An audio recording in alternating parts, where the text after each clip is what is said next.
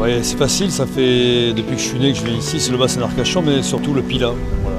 J'ai grandi à la plage Mélaire, c'est surtout toute la, on va dire de la dune du Pila à la plage Mélaire, du Moulot à la, dune du Pila. Voilà, c'est ma, ma seconde patrie, on va dire. Euh, chaque année, je dis je vais partir ailleurs en vacances, finalement, je reviens toujours. La Gironde, c'est le plus grand rendez-vous.